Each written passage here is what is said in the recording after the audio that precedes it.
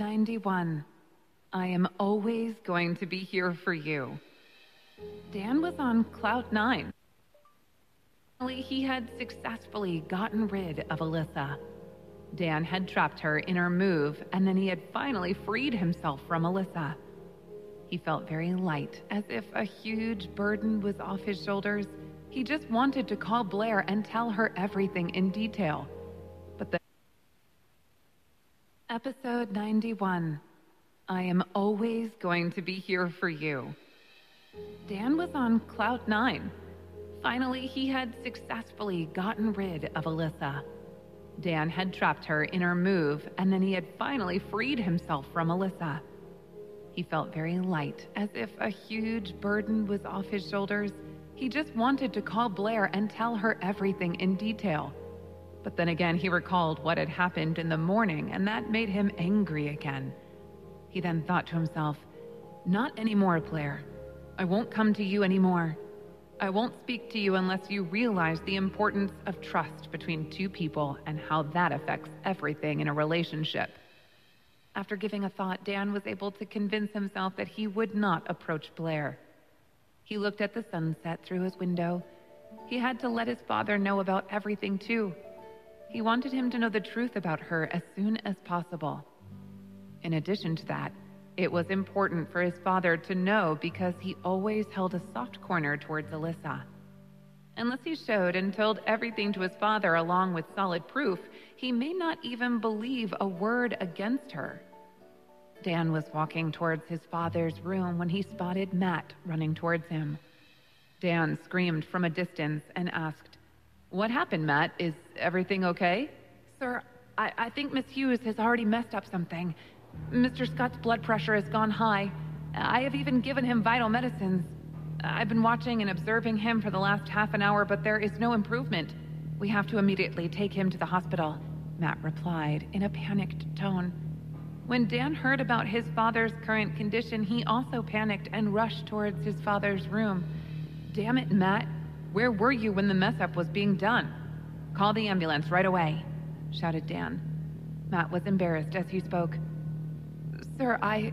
I had gone to collect an important parcel, and when I retreated, I saw Miss Hughes giving him a glass of juice, and I have already called the ambulance.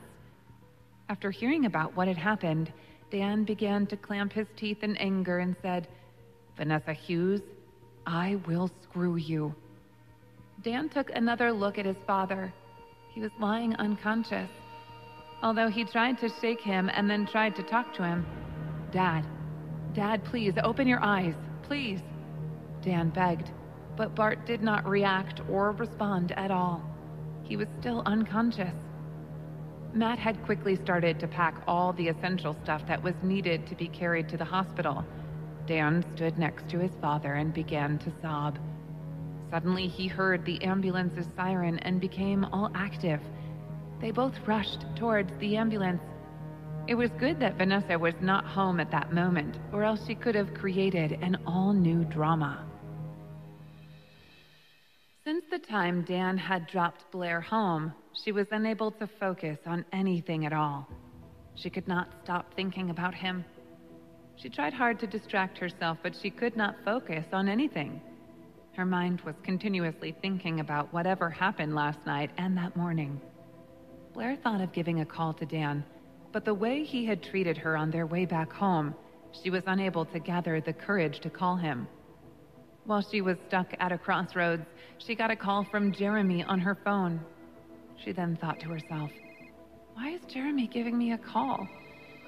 As soon as she answered his call, she heard Jeremy's panicked voice. Miss Cooper, could you please reach the hospital right now? Mr. Scott is very sick, requested Jeremy. When she heard about the news, she panicked a lot. Jeremy, what has happened to Mr. Scott? He was all fine until yesterday, she asked. Jeremy then explained to her. I do not know exactly. I just got a call from Dan, sir. He just told me things briefly. I thought that you must know about this, hence I called you. Dan Scott might need you to be with him. But yes, please do not tell him that I told him about this and that I asked you to come over, said Jeremy. Understanding his situation, Blair explained to him, You don't worry, Jeremy. I won't say a word to Dan. I will be there very soon, replied Blair. After disconnecting the call, she quickly picked up the bag and left for the hospital. On her way to the hospital, she kept wondering why Dan had not called him. The last time he had called her while he was on his way to the hospital. Blair got a bit irritated and thought, who forgets relationships because of such trivial matters? Amidst this confusion, she reached the hospital. While walking towards the ICU, Blair was panicking. I don't even know how Mr. Scott would react seeing me, thought Blair. While going towards the ICU, she saw Jeremy right outside the ICU. As soon as Jeremy saw her coming, he quickly walked towards the other side of the ICU. Perhaps even he did not want to witness the meeting between Dan and Blair. Using the viewing glass, he was peeping inside the ICU to keep a look at his father. Blair walked faster, and then she said in a soft and gentle tone, Mr. Scott? As soon as Dan heard her voice, he was startled and turned around. Seeing her right in front of him, he was surprised. He had just secretly hoped to have Blair with him, and within a fraction of seconds, he found her standing right in front of him. Although he desperately wanted her to be there, because of his ego and stubbornness, he had not called her. Dan started wondering if he hadn't called her, then who informed her about his father's condition? When she noticed that he was lost in his thoughts, she shook him and said, Mr. Scott, why aren't you saying anything? Is your father okay now? As soon as she caught his attention, Dan hugged her right away. I do not know anything, Blair. They have just taken him inside. I do not know how his blood pressure went up so suddenly. Matt gave him some medicines, but still they did not help to bring down his blood pressure, Dan answered. While talking to her about his father, he had tears in his eyes. Blair had kept him in arms and was trying to console him like he was a little child. She gently tapped his back and thought for a while and then asked, But he was totally fine until yesterday. What happened to him suddenly? Dan nodded in agreement and then said, I am 100% certain that Vanessa has made this happen. Matt had gone out for some time, and when he returned, he saw her feeding him with juice. After listening to the whole situation, Blair said, Oh my God, this woman turned out to be more dangerous than any of us had imagined. Dan continued to talk. And yes, I was right. Kim is nobody but Alyssa's cousin.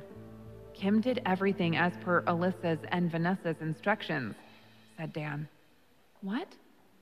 So are you saying that Kim and Alyssa are cousins? asked Blair. Dan nodded in agreement and said further, Yes, and that is why I told you that name sounded familiar to me. But you were not ready to listen. In fact, you were making fun of me. There was some disappointment in his tone. Blair smiled softly and then rested her head on his shoulder. Sorry, Mr. Scott. I am sorry. Perhaps I need to understand you more. There's a lot of scopes, but sometimes I find myself in such situations where my brain stops working and I fail to gauge what needs to be done, said Blair. Although Dan was still mad at her because of what had happened in the morning, having her next to him in a tough situation like that, he seemed to have mellowed down. Therefore, a thought crossed his mind. One minute. Who told you that Dad is admitted to the hospital? asked Dan. Before she could respond, the ward boy came and said, Mr. Scott, Dr. Burton wants to see you in his cabin. Sure. Excuse me, Blair. I should go and see what's going on, said Dan, and he walked towards Dr. Burton's cabin. As soon as he was gone, she took a deep breath and occupied the chair placed right next to the ICU. She then suddenly found Jeremy coming towards the ICU. Hello, Miss Cooper. I am glad that you are here. God knows what the doctor is going to tell him.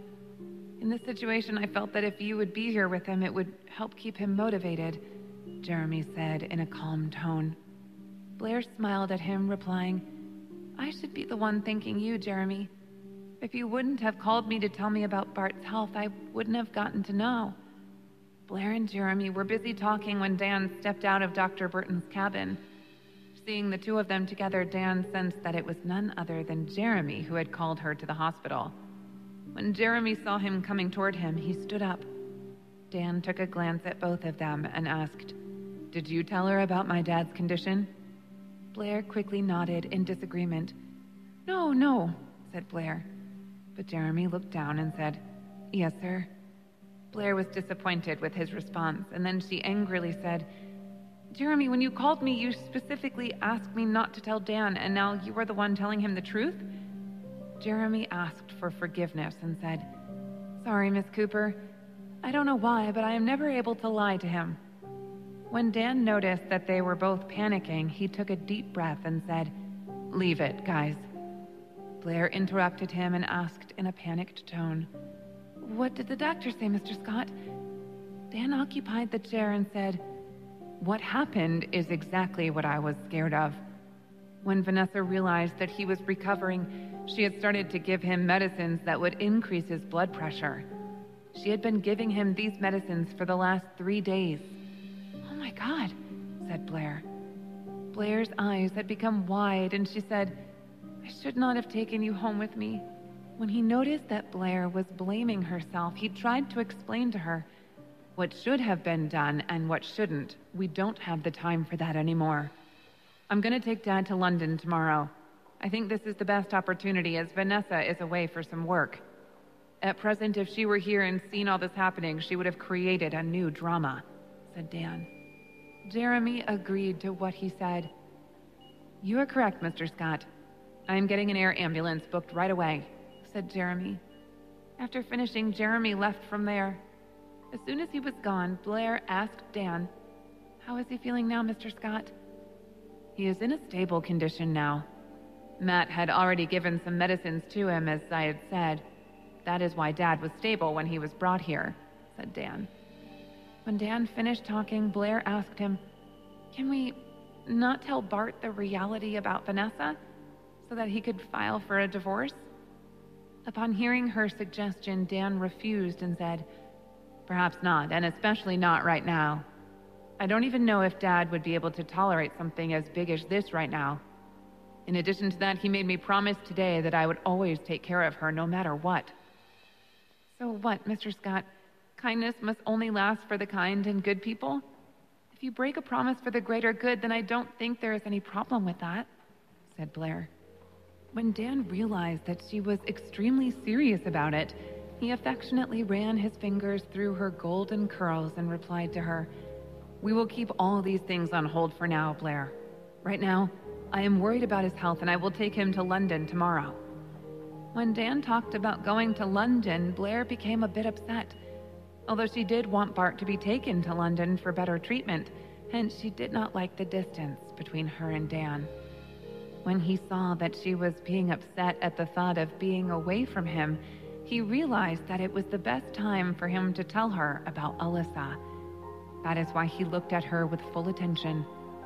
Blair, do you remember what I had told you two days ago? asked Dan. Blair was worried about being away from him. That is why she had forgotten what Dan was even referring to. She nodded in disagreement and said, No, Mr. Scott, in fact, I do not remember. Just when Dan was about to tell her everything about Alyssa, a voice emerged from behind. It was a woman's voice. Hello, Dan.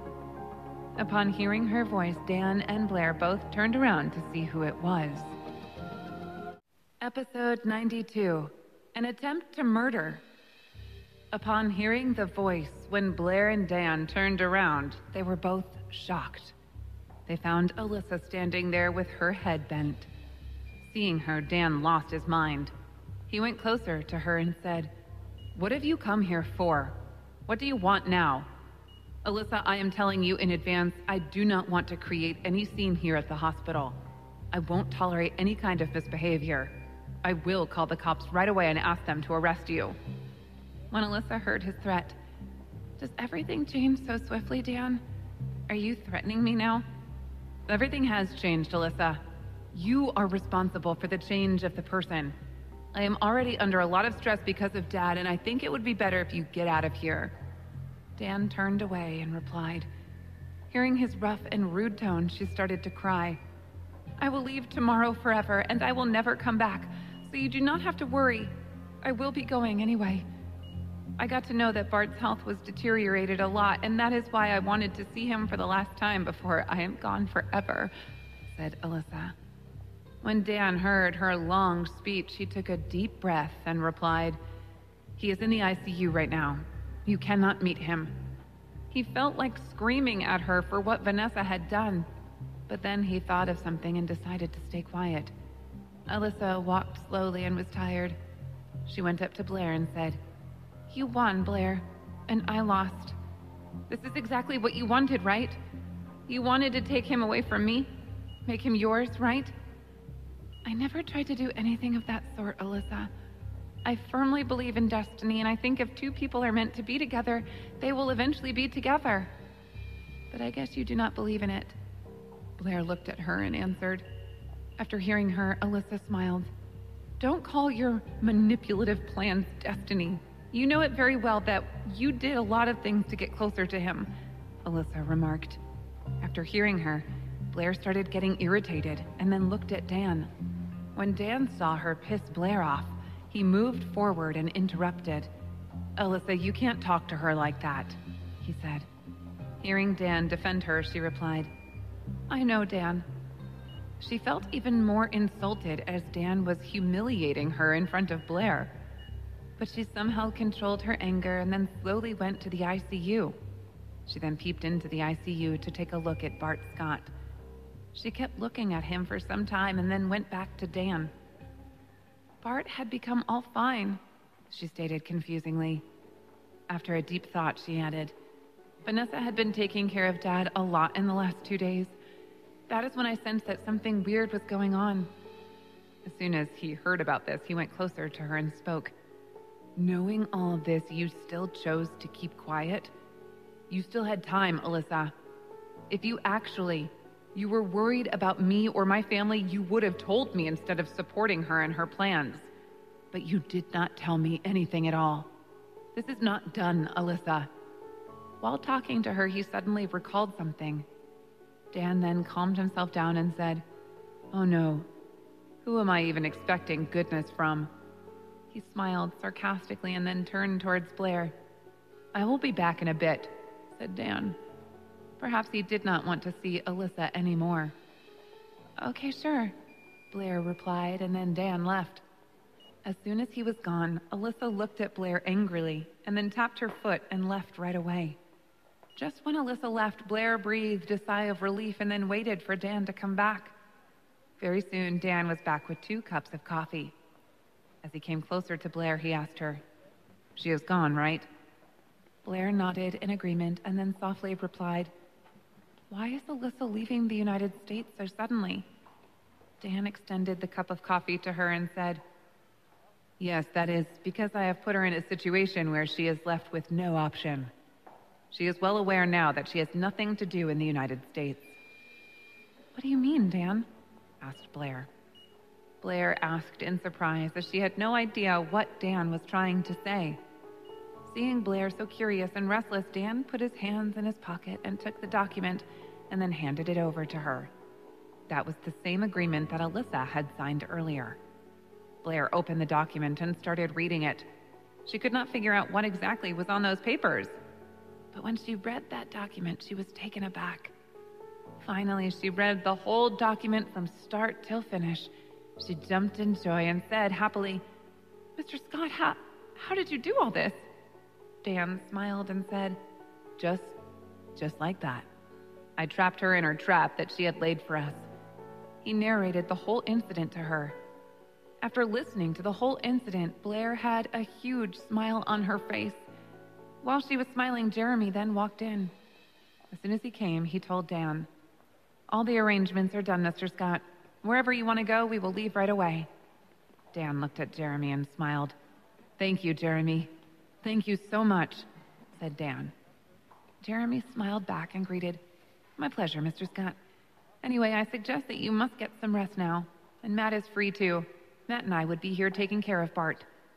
Upon hearing Jeremy's words, Blair realized that he purposely wanted to leave them alone for some time. Before she could say anything, Dan asked her, Are you sure? 100% sure, sir, said Jeremy. Jeremy said with full confidence. Then he looked at her and said, Let's go, Blair. Blair hesitated a bit, but then she followed him to the resting room.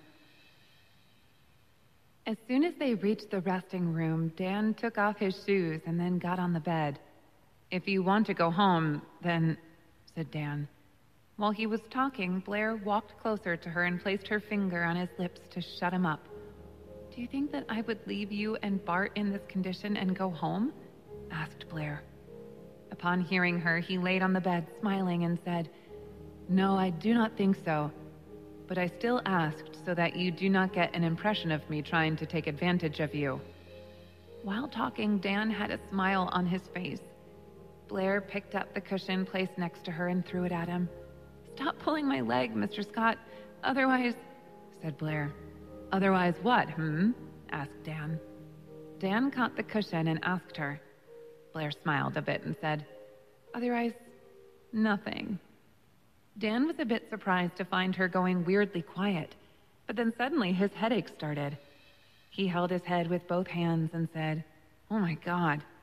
Blair got worried seeing him in pain. She quickly held his head and said, What happened, Mr. Scott? Are you okay?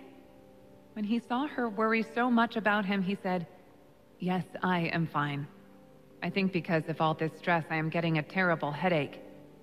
Blair sat right next to him on the bed and said, Hey, let me help you. I will give you a head massage. You try to get some sleep. She then removed his hands and placed hers on his head. She then began to give him a head massage. Dan was a bit hesitant and he tried to stop her and said, Oh no, please, I- I'm okay. But she did not listen to him and continued to massage his head. Dan kept staring at Blair. He thought to himself, there is so much difference between Alyssa and Blair. She is not even close to what Blair is. I have hurt her so much and look at her. She cares so much about me and my family. When she saw him staring at her, she asked him, What are you looking at? He took a deep breath and said, I am just thinking about how I mistook a diamond as an ordinary stone. Had life not given me a second chance, I would have lost the chance to experience this love of yours. He held her hands and gently kissed them. Blair felt a bit restless when he kissed her hands. Before she could handle that touch of his, Dan grabbed her head and pulled her closer to his face. Blair's heartbeat raced. Dan closed his eyes and touched his nose to hers. When I am gone, will you miss me? asked Dan. She rubbed her nose against his and said, No, not at all. Blair started smiling mischievously. Upon her response, Dan pretended to get a bit mad at her. Oh, so you won't even think of me? asked Dan. Hmm, that is correct. I will not think of you, because I will always be close to you. My love will always be there no matter what, said Blair. Her soft breaths were giving him a beautiful feeling. Upon hearing her response, Dan began to smile. He gently kissed her lips and said, Sometimes I feel that I am the luckiest person on this planet to have you. Every woman that I have ever met turned out to be a gold digger. I know there are very few people in this world who genuinely love others. Ever since I have known you, you have always proved me wrong. Blair smiled and then straightened her back and started to massage his head again. You know what, Mr. Scott? You will find all kinds of people everywhere. And that is why you mustn't generalize and don't judge people. When situations change, people change too. Look at yourself. You have changed so much. You used to be such an arrogant man, said Blair. She then burst into a laugh. When he saw her laughing so hard, he caressed her neck and smiled at her. Keep smiling like this, always, said Dan.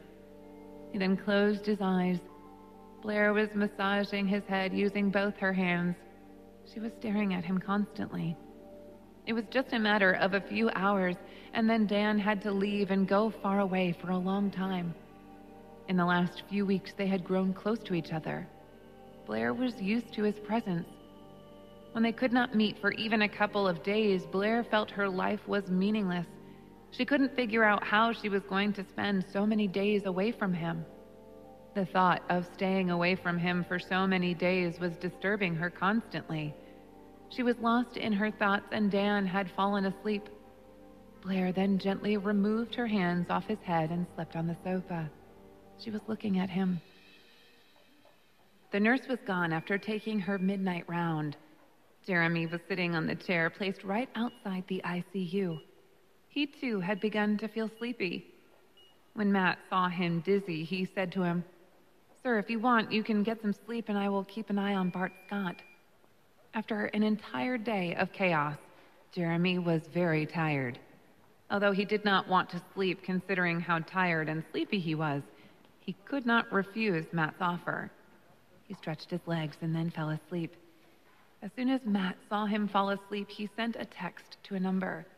The way is clear. You can now come, read the text. After sending that text, he took a look at Jeremy and found him dead asleep. After some time, Jeremy woke up from a sound. He quickly opened his eyes and saw someone rushing towards Bart's room. At first, he thought it was some nurse wearing white attire. Since he was so sleepy, he was unable to understand anything. But then he became a bit active and fully opened his eyes when he noticed carefully he realized that it was not a woman, but a man. He quickly followed that man inside the ICU. Jeremy was stunned to see what was happening. What he saw there was enough to blow his mind. He saw Matt standing right next to Bart's bed, and he was holding Bart's oxygen mask in his hand. In the absence of oxygen, Bart was breathing fast and was desperate for air. As soon as Matt saw Jeremy, he quickly put the mask back on Bart. After the mask was placed back, he had started breathing normally. Witnessing all this, Jeremy rushed towards Matt and asked him angrily, What were you doing, Matt? You removed Bart Scott's oxygen mask? When Matt heard his strict tone, he started to cry and plead in front of him. I was not doing anything like that, sir. Please believe me. Please just let me explain things to you, said Matt. What would you explain to me, Matt? I just saw you removing his oxygen mask, said Jeremy. While they both were talking about all these things, Blair peeped inside the ICU. Could the two of you please come out? asked Blair. When they saw her, Jeremy held Matt's hand and walked outside of the ICU. He kept looking at Matt angrily. Miss Cooper, do you know Matt was in the ICU and he took off Bart Sir's oxygen mask so that he dies? said Jeremy. Blair took a look at the two of them and then told Jeremy, Leave him alone, Jeremy. It is not his fault. When Jeremy heard her in defense of Matt, he was taken aback. He gently freed his arm and then, with a lot of confusion, asked her, Are you sure, Miss Cooper? For once, Jeremy felt that Blair is also working with Matt against Bart Scott.